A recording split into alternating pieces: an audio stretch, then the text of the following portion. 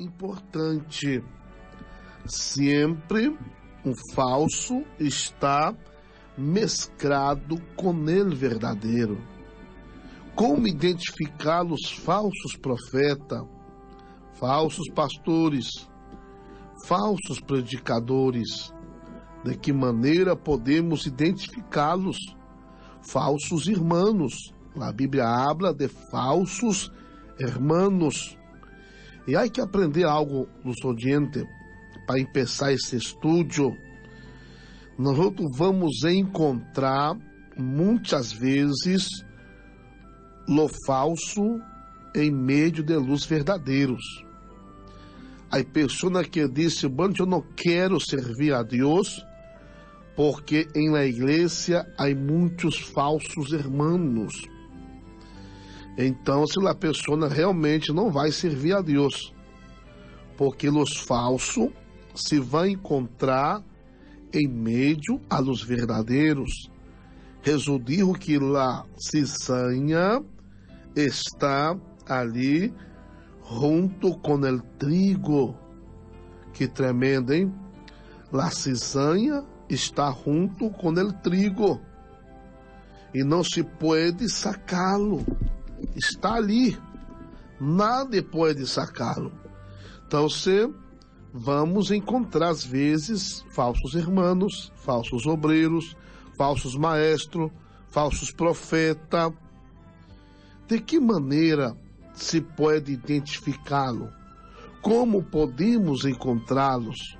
É importante aí nós outros ter a base bíblica que é a autoridade que vai rusgar o que é falso, o que é verdadeiro. Por exemplo, em uma congregação, pessoas que são tismosas são falsos irmãos. Pessoa que abra pelos demais, destrude a amistade, destrude confiança. Eles são falsos irmãos, não são verdadeiros. Que a Bíblia diz: aquele que disse que ama a Deus e aborrece a seu irmão és um mentiroso e a verdade não está em ele. Quer dizer, a pessoa que tem uma prática feia em estar hablando pelos demais, em estar ponendo persona contra a outra persona, essa pessoa é identificado como falso hermanos. E se és obreiro, falso obreiro. É, eu observo muito, irmão. É importante nós outros observar para aprender. É, há pessoas que, quando mantêm um ciclo de amistade ao redor, generalmente estas pessoas mais cercana a estas pessoas, se és uma pessoa tismosa, murmuradora, aqueles que são mais cercando a eles não crescem. Generalmente se desvia, porque aí Satanás o bapo de observado isto, desde meu princípio de fé, como crente. Há pessoas que têm uma, uma mala costumbre em criticar a todos, em criticar ao pastor, ao predicador, ao cantante, ao obreiro, ao irmão, à irmã. E essas críticas que essa pessoa hace desmotiva aqueles que estão mais cercando. E eu já vi muito caso, pessoas que eram bendecidas, que em pessoa tinham uma amistade com determinadas pessoas, e prontamente aquelas pessoas se tornaram críticas, se tornaram murmuradores, começaram a ver defeito em todo, começaram a, a enfocar-se em las debilidades e dificuldades dos demais.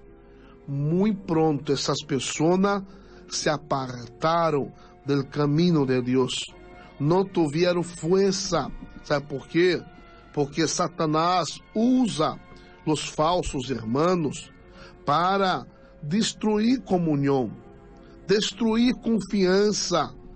Uma pessoa começa a buscar defeito em todo mundo, começa ali a, a abrar por os demais, e a pessoa, ao receber estes mensagens negativos, essas murmurações, estes cuentos, eh, esses tisme, não tem força para repreender essa pessoa, para dizer, meu irmão, vai orar, meu irmão.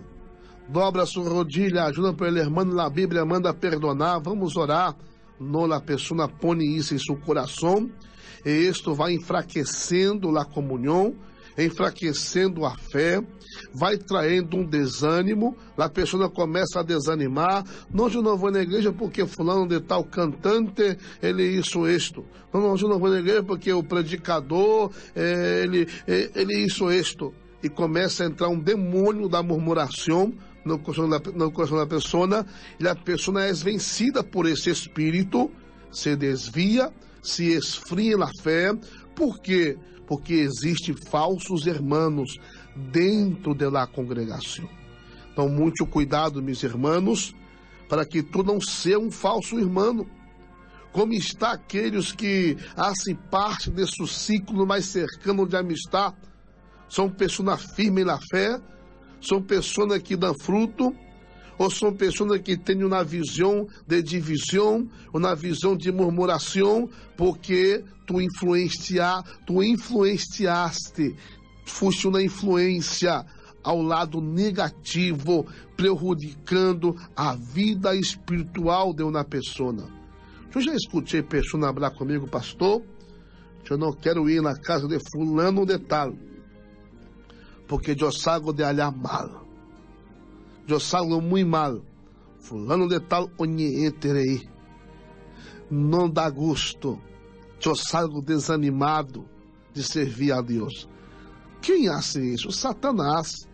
A pessoa está sendo usada por Satanás para poner um contra o outro, para desanimar a los demás, para sembrar contenda, para sembrar desacordo. Se a pessoa está herida, ela tem que buscar sanidade. O caminho é o perdão e se focar no espiritual. Não há como, meus irmãos. Há que se enfocar no espiritual. Porque vai haver muita pessoa que Deus vai tratar com eles. Não todos são verdadeiros. Vai existir nas congregações, em todas as igrejas, pessoas que são falsas, pessoas que não vai reconhecer seu erro, pessoas que vai se justificar ante ao pastor, pessoas que não vai confessar que isso mal que vai morrer, pero não vai descer, não, não, eu falhei, eu pequei, eu reconozco me errou. Esta classe de pessoa, lastimosamente, Deus la juzgará e vai ser um juízo terrível, porque Deus lhe dá a oportunidade de se arreglar a cair na terra, me entra tempo de confessar, se arrepender, e a pessoa não é sincero. São porque são falsos que está entre os verdadeiros. Então, se meus irmãos querido, mira esse princípio que estou falando sobre lá, como identificar a pessoa falsa, não engane avô. O falso não vai estar allá, meus irmãos, no baile, bailando. Allá não vai estar o falso. Allá o diabo não hace falta aí é, acenada, porque já está na mão dele. O falso não vai estar aí por os reservados adulterando. O falso às vezes vai estar dentro da congregação, que é ali que Satanás vai querer criar estratégia para dividir irmãos, para aí, meus irmãos, poner um contra o outro, para poner em descrédito, para enfraquecer a unidade do povo e vai usar a luz falso. Há pessoas que são tão usadas por Satanás, irmão, que é incrível, aquilo que acha o diabo disse, eu, é, é, hoje eu estou aprendendo algo novo. Hasta Satanás, eu vou sentar aqui para aprender com esse tipo ou com esta senhora. Água pia, arrendou porã para me anotar algo aqui, para aprender algo. Aí pessoa que supera, aí pessoa que tem a capacitar como crente em Cristo, bautizado, verdade, conhecedor das coisas de Deus, em injuriar, em descer algo que a pessoa não isso, quero descer para avô, do que fulano falou com relação a avô. Ele diz que vou sou assim, assim, assim, assim. E és uma mentira do inferno. A pessoa não diz nada. E aquela pessoa divide amigos, separa irmãos. Por isso, meus irmãos, que este pecado está entre os pecados que Deus abomina, Deus detesta, Deus não gosta deste pecado. É terrível, mano. Deus abomina mesmo. A Bíblia diz em Provérbios 6,16: seis coisas que aborrece a Jeová. A um se é te abomina sua alma, os orros altivos, as línguas mentirosas. Aí pessoas que são línguas mentirosas, o coração que maquina pensamentos iníquos, pessoa uma, o, o, o planear coisa vai pessoa que seus pés são pressurosos para correr ao mal, pessoa que vai em casa em casa para prejudicar os demais, para abrar por os demais, o coração que maquina pensamentos iníquos, o testigo falso que abra mentira, pessoa que disse algo que não aconteceu. Eu me surpreendi muito, meus irmãos, como crente, coisa que me surpreendeu, hasta mesmo a ponto da pessoa dizer, pastor, é certo que vou abraçar isto? E eu nunca nem pensei em abrar, mas digo, fulano de tal, digo que vou abraçar assim, assim por mim, eu digo, não é possível, que capiroto é esse, mano? Usar o nome do próprio pastor, às vezes, para destruir amistades, isso é terrível, né? E isso é terrível, pero isso não quedará impune ante os olhos do Senhor. Se a pessoa não confessa, não se arrepende, não reconhece seu erro, vai ter uma consequência terrível. Acá disse, el que siembra discórdia entre irmãos, será que vou estar sembrando paz? És um pacificador, bem-aventurados pacificadores, porque eles serão chamados hijos de Deus. São aqueles que promovem paz, são aqueles que construem puente, são aqueles que ligam as pessoas. Se tu vê se algo e tem dificultar, qual é a sua função? Enfoca nas coisas boas daquele ser humano, mira o valor dele, enfoca o que é lindo, esse irmão é precioso. Ai, mano, eu não estou de acordo com fulano de tal. Irmão, para com isto. Derra isto porque vou estar em falta com Deus vou estar em pecado gravíssimo. Gravíssimo o pecado ante o sorro de Jeová. Vou estar se comportando como um falso irmão. Um verdadeiro servo e servo de Deus é prudente. Um verdadeiro servo e serva liga as pessoas uma nas outras.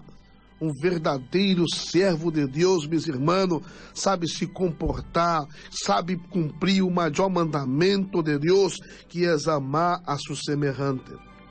Então você esteja preparado, porque o falso às vezes está entre os verdadeiros. Eita, aprenda esse princípio e não seja tonto. Hã? Quantas vezes eu fui tonto, meus irmãos? Não seja tonto. é importante nós outros aprender isso, para não sermos aí surpreendidos ou enganados. Em Hechos capítulo 20, viram o que disse aí, o verso 29?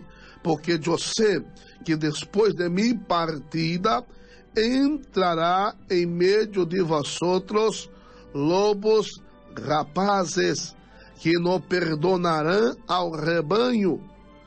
Há muitas pessoas que Deus vai enviar para estar conosco, há muitas pessoas que o inimigo vai enviar. Eu me acordo quando pensamos no ministério, o Senhor falou acá no quilômetro 9 me servo de eu vou trazer muitas pessoas neste lugar, pero vigilar, porque entre aqueles que vendrá, também vendrá falsos. Então nós devemos estar atentos, que a palavra poderosa disse acá, que vais entrar em meio de nós outros lobos rapazes, que não perdonarão o rebanho. Que tremendo, meus irmãos. Então, se isto pode acontecer, então, se irmã em Cristo, irmã, esteja atento, porque isto é palavra de Deus, e de vosotros mesmo se levantará hombres que abrem coça perversa para arrastrar atrás de si a luz discípulo. Mira, este segunda classe de pessoa não são aqueles que vendrão de afuera. Às vezes pode acontecer que aqueles que foram levantados entre nós outros mesmo pode ser usado por el diabo. E haverá coisa perversa, haverá contra os líderes, haverá contra os pastores, haverá contra o ministério.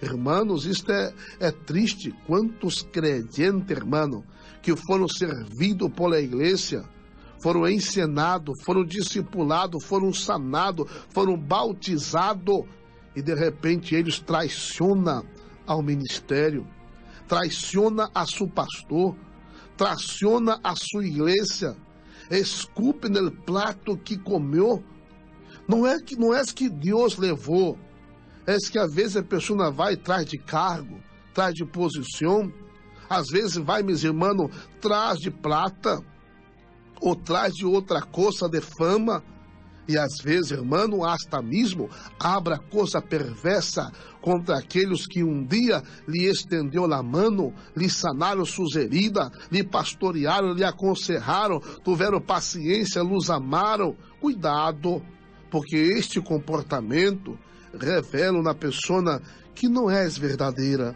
que não és que és falso. Então você pode se levantar em meio de nós outros, pessoas que abram coisa perversa. Devemos estar preparado, eita glória. Então, se os falsos, mira, eles são rebeldes. Os falsos se revelia contra seus líderes os falsos abram coça perversa. Os falsos são gananciosos. Mira, os falsos não têm amor por ele rebanho. É, o verdadeiro tem amor por as almas. O verdadeiro tem amor por ele rebanho. Os falsos não têm amor por ele rebanho. Não são sujeito, não respeita seus líderes não respeita seus superiores, a seus pastores, e às vezes hablam coisa que não pode hablar. Mira, e o que disse aqui, mas arrasta atrás si a los discípulos. São pessoas que dividem trabalho, são pessoas que dividem igreja, são pessoas que se aduenham pelas congregações do rebanho de Deus são pessoas que traem para si, aí, meus irmãos, a primazia, querem se poner como primeiro e leva lá ovechar a rena. Então se busca lá ovechar a rena. Uma coisa é um pastor que vai receber em sua congregação uma ovelha que vem do outro lado, que não lhe invitou, não isso nada. E a ovelha ligou pedindo socorro pastor, ajuda-me, eu quero congregar aqui. Isso é um tema, o pastor vai, abrar com o pastor, a ser o que é correto.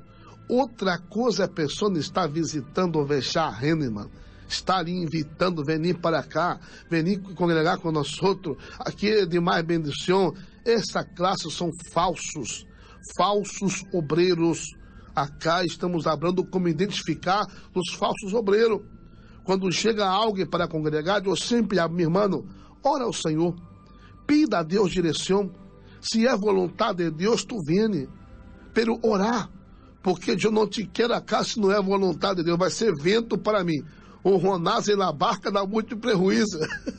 eu sempre amo. Pero se é Deus que está te mandando, as portas estão abertas. Pero ora ao Senhor primeiro. Em Emonguetaporã, é pastor abra com ele e ora ao Senhor para que vá tudo na paz. Agora há pessoas que acham um trabalho de proselitismo, que é proselitismo, é andar de casa em casa abrindo mal do ministério. E às vezes se enfoca em um defeito de uma irmã que tem um defeito, que está sendo suportada, que Deus está trabalhando em sua vida e começa a poner por um todo: esta igreja é assim, esse ministério é assim, porque se enfoca em la misericórdia que um pastor às vezes tuvo por uma alma, por um irmão, por uma irmã, de estar trabalhando com ele e a pessoa está vomitando santidade, como que se fuera mais santo, melhor, e não sabe que aí é um trabalho pastoral, de, de trabalhar por uma alma, de, de lhe aconselhar, de lhe acompanhar, de lhe levantar em na presença de Deus. Então, se cuidado, que os falsos, eles querem chamar a atenção, os falsos querem trazer o rebanho atrás de si, um falso quer adonhar-se do rebanho. Cuidado, meus irmãos, estamos falando como, como identificar os falsos profetas. Então, os falsos profetas, increívelmente, pode se levantar em meio de nós outros, os falsos irmãos, falsos pastores, falsos predicadores, falso maestro, pode se levantar em meio de nós outros, pode vir de afuera. Eles são rebeldes, não estão submissos ao pastor, não respeitam os líderes aos superiores e hasta mesmo abra coisa perversa contra os líderes. E por demais, querem chamar a atenção atrás de si, querem adonhar-se do rebanho del Senhor. Que Deus nos bendiga.